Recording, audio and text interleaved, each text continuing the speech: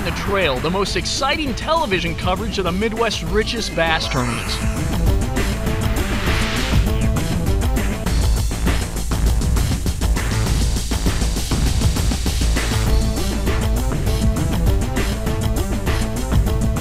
For fast boats and fish catching action, it's Heartland on the Trail.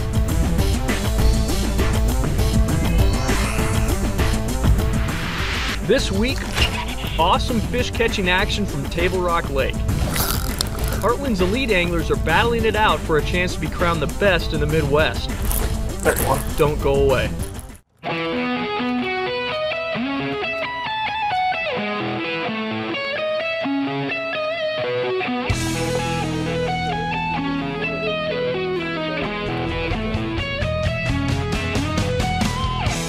Tournament Association's Elite Tour offers one of the most unique bass tournament formats around. Instead of being paired with an amateur partner, competing fishermen are allowed to fish by themselves. This format allows anglers more freedom to fish where and how they want, and is quickly becoming the most popular circuit in mid America.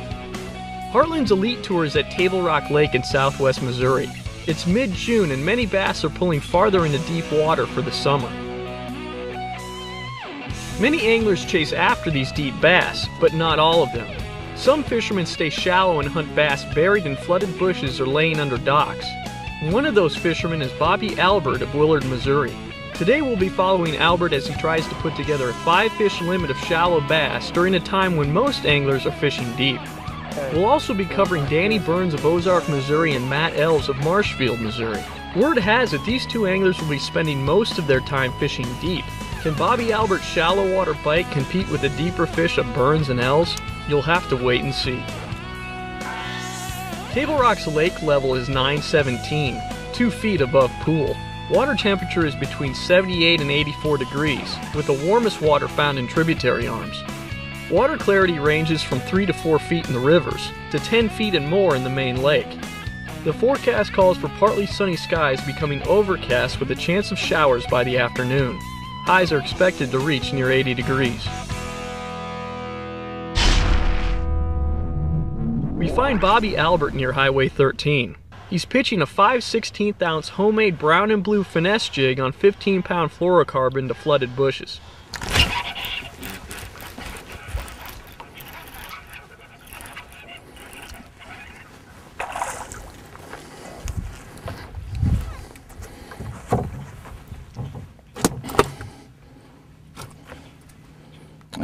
I don't know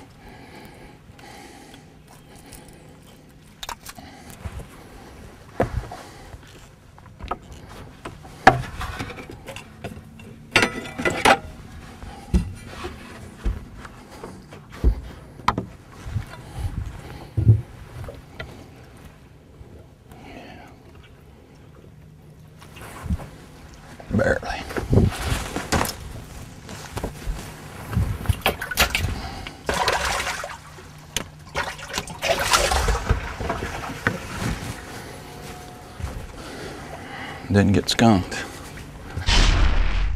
Matt Ells is near the mouth of the James River near Aunts Creek. He's casting a three quarter ounce football jig to a flat main lake point with standing timber. Today I'm going to attempt to set here. I was hoping I'd get here and catch at least three or four real early doing this. I've got one other spot right here close.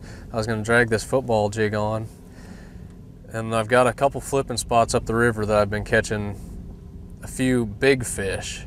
And I was hoping, you know, if I could get a few here and then cull out a couple up there, I think I'd be sitting okay, but we'll just have to play it by ear, I guess. I caught some fish yesterday on a drop shot, but it's kind of, that's one bait that I have not got a clear understanding of so far. I need to get a little better at it. I just don't have the confidence in it to do it today.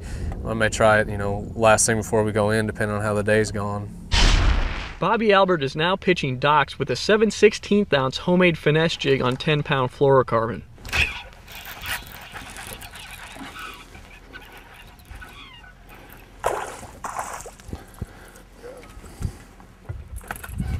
Another close one. Bump him hard and he barely touches.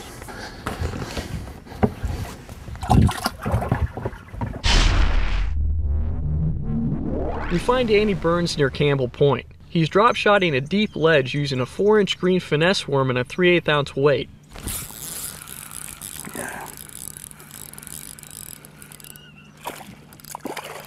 Small one.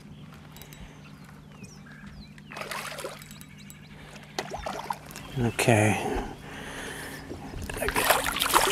Yeah, little one.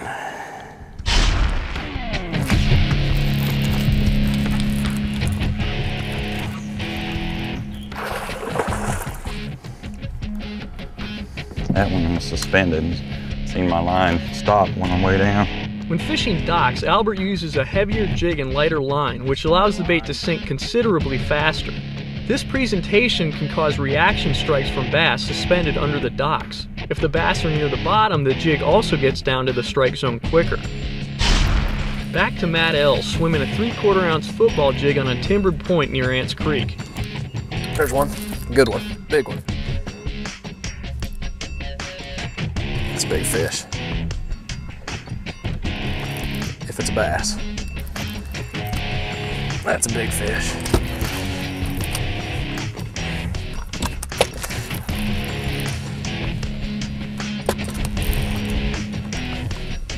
Oh, come here. Come here, baby. Oh, there's one.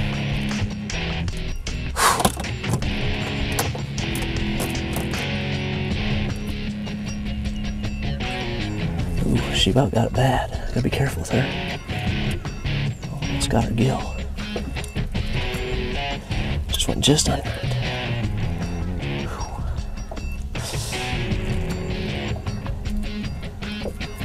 There she goes. That's a good start right there. Get some water going in here. Danny Burns is hooked up on his drop shot rig near Campbell Point. Always a good one.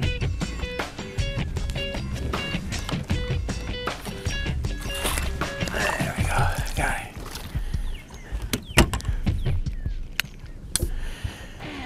All right. Finally got a fish, didn't we? Let's see if he measures.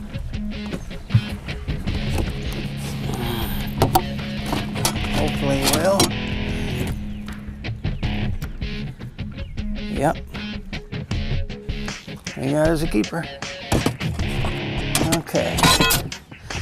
What we're gonna do now, I'm gonna get right under the seat.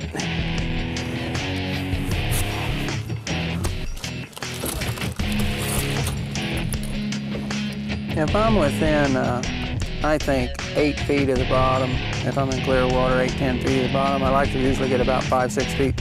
Then there's a lot of fish on bottom that's not showing up on the screen and you'll see them come up and eat it. Same token, if I'm in 35, 40 feet and I see one suspended at 25, then I'll reel up to him and stop and shake it and a lot of times you can catch that fish. See this bluff here? Th- This ledge goes like this and it goes right out through there and off the edge of it it drops off and that's where these fish are hanging, right off the edge of that ledge. You'll be in 22 feet and boom, you'll be in 44 feet. It's just real steep. Matt Ells is hooked into a good one, but it has him in a tree. She keeps sawing me off down in there. She's still on there. There she's running. Come out of there. Son of a gun. Oh, that was a big fish.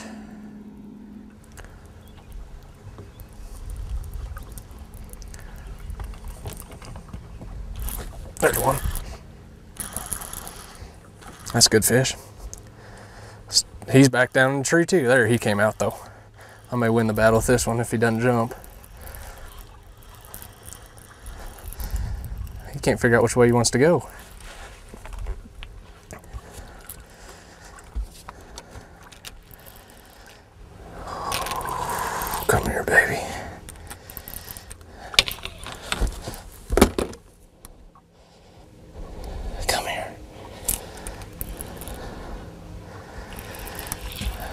Here.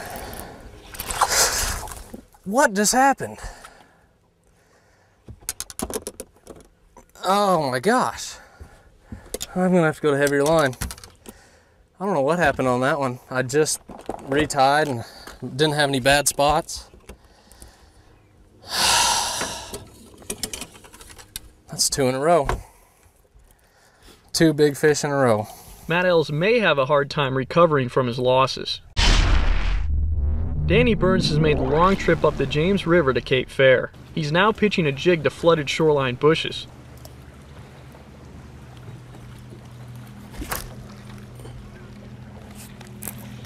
Gosh. This fish comes off, but gets him hung in a bush first. Matt Ells has also moved to the upper James River. He's now pitching a brown and purple Aikens jig to shallow cover on a channel bank. Well, I've been catching fish up here. Uh, it's been good for me every you know, for three or four keepers every week. As a matter of fact, in the pro am last week, uh, we had four off this bank. It just happened to be that my amateur had three of them, but you know that's part of it. It's just it's held fish for the last two months for me, and it doesn't get hit extremely hard. You know, the all the banks around it get hit real bad, but this stretch of bank seems to hold fish, and the fish that I catch are either little bitty, you know, won't even you know only eight ten inch fish, or else they're three and a half four pounders. So I was hoping I could get a few quality fish and go back to where I missed that or lost those two or broke broke those two off this morning and maybe pick one up there and get a limit out of the deal. Danny Burns has pulled off into deeper water and again is using his drop shot rig.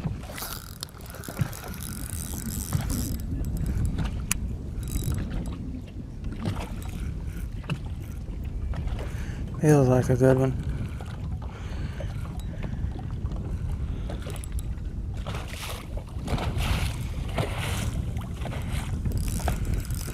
Back reeling him.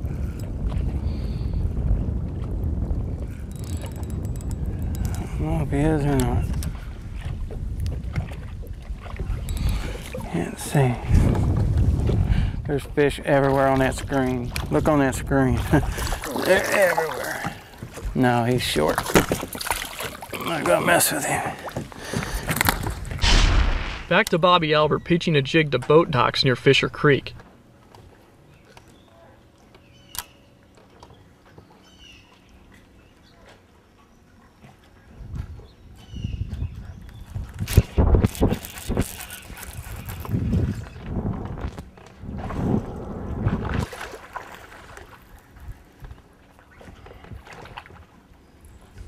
He's short too. It's awful. All these bushes in the water down here are hard to pass up, but I haven't caught any keepers out of them. I mean, I still, when I go past them, I still try to throw in them every time. Maybe get lucky sooner or later, but I haven't caught a single fish out of a bush. It's all just been on rock. The majority of them have been real shallow too, less than a foot of water. Danny Burns is now swimming a brown and purple jewel football jig on a sloping point in the James River. There's a bass.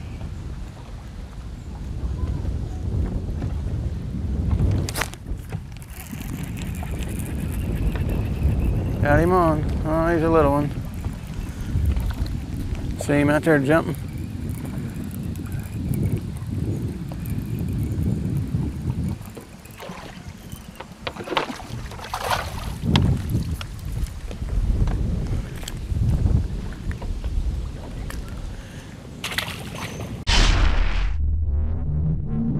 Bobby Alberts moved back to Schooner Creek.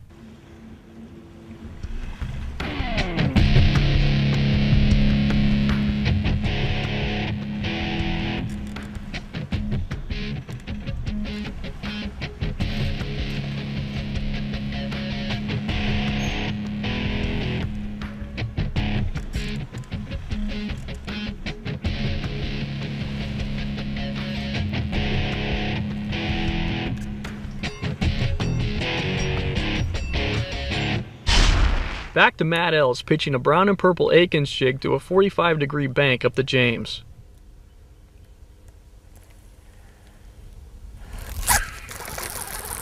Another little one.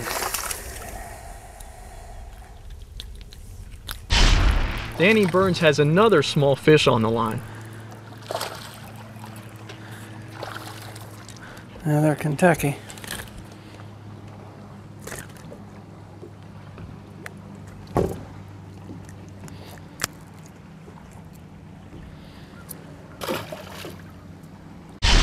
With weigh-in drawing closer, Matt Ells runs back near the mouth of the James by Aunts Creek. He'll try to salvage the day on the timbered point where he caught his only keeper.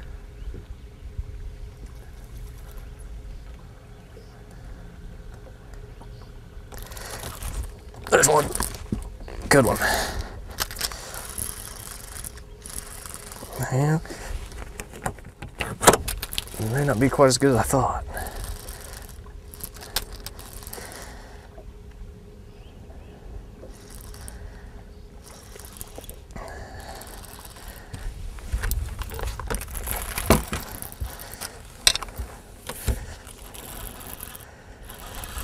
Not gonna take any chances. Decent fish. Don't think he's gonna keep though. Nope, he's not gonna go. Unfortunately, this fish won't cut it. Danny Burns has moved near Campbell Point. He's swimming his three quarter ounce football jig on a flat point. Got one. Feels pretty good.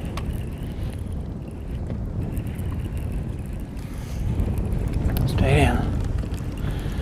Stay down, baby.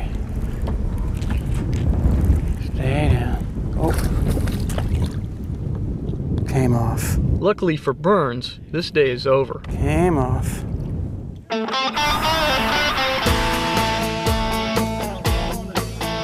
Dustin Cox of Springfield, Missouri is the first angler to weigh in with a respectable limit. He will easily take the lead. New leader, 13. 06, 13.06. Give him a hand. Dustin Cox takes the early lead with 13.06 pounds. Cape Fair, Missouri angler Bobby Sullivan is next to the scales with a limit that will challenge Dustin Cox for the lead.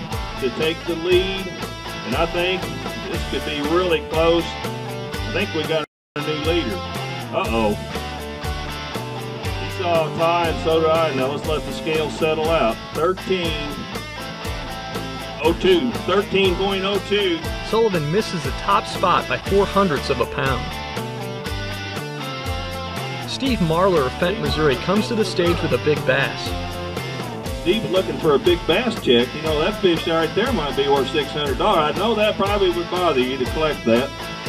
465, 4.65, and that is big bass so far today. Marler's 4.65 pound bass is the largest so far of the tournament.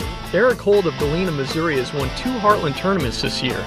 Can he make this elite event his third? He's got to beat 1306 to take the lead. Think you can do it, Eric? New leader, 1362, 13.62 pounds. Holt takes the lead with 13.62 pounds, but there's one more angler yet to weigh in. Now he's going to have to beat 1362 to take the lead. Don Pippin, also of Galena, Missouri, has a limit that could give him the lead. Not another big one in there. Boy, this it could. I think think he's going to be a little shy. Oh man, not very much. So 13.11, 13.11. The winner of the 2004 Heartland Elite Tournament on Table Rock Lake is Eric Holt with 13.62 pounds. Second goes to Don Pippin with 13.11 pounds. Pippin fished in the Kings River and targeted channel swing banks with the 3 quarter ounce brown and purple football jig with a cinnamon twin tail trailer. In third, Dustin Cox with 13.06 pounds. Cox pitched a 5 16th ounce jig to flooded bushes in the White River. Big bass honors of the tournament go to Steve Marler with his 4.65 pound bass. Marler got the fish on a brown 5 16th ounce Aikens jig in Zoom Critter Craw near a flooded willow in Fisher Creek. Here's the best of the rest.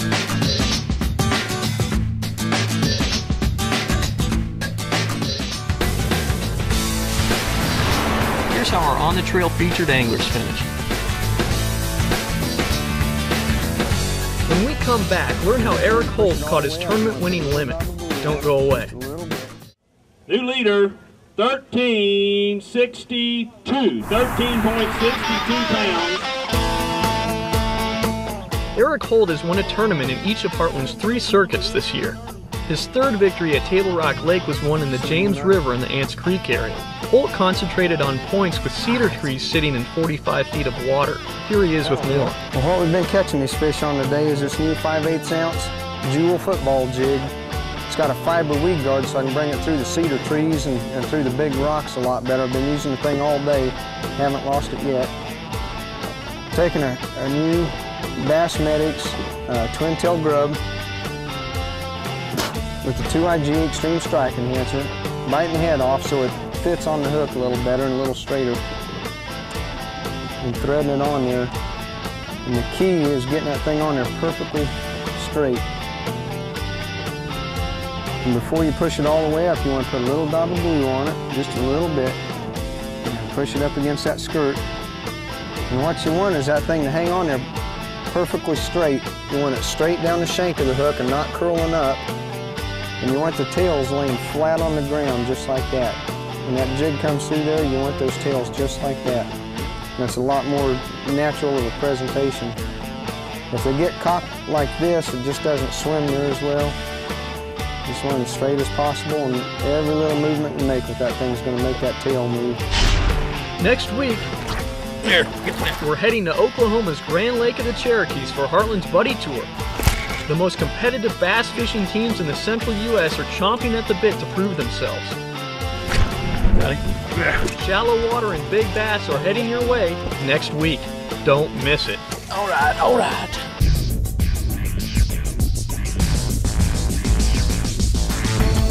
Heartland on the Trail, the most exciting television coverage of the Midwest's richest bass tournaments.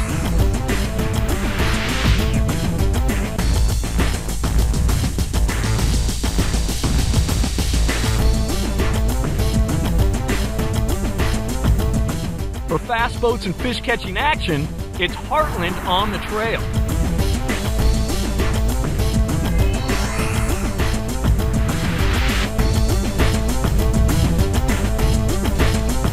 On the Trail is a production of Marine Grade Marketing.